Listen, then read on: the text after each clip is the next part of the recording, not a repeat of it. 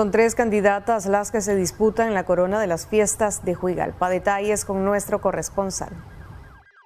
Daniela García Guevara es una joven con muchos deseos de superación que trabaja de lunes a domingo en una fritanga familiar. Ella, con el apoyo de sus amistades, decidió buscar la corona de la fiesta patronal de Huigalpa e inscribió su candidatura. Me he enfocado en recorrer los barrios, las comarcas, llegar a cada corazón de los niños y sobre todo ser yo misma.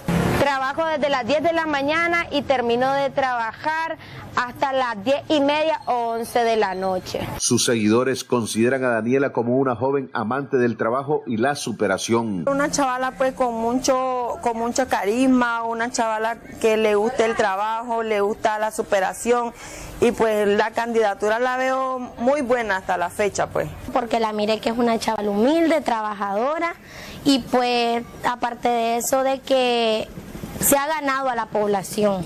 Esta joven, aparte de trabajar de 10 de la mañana a 11 de la noche, también cursa dos carreras profesionales. Estudio, trabajo, desde mis 15 años pago mi estudio, soy independiente y gracias a Dios hemos llegado bastante lejos en lo que es el reinado y vamos siempre para adelante y nunca es tarde para lograr los sueños.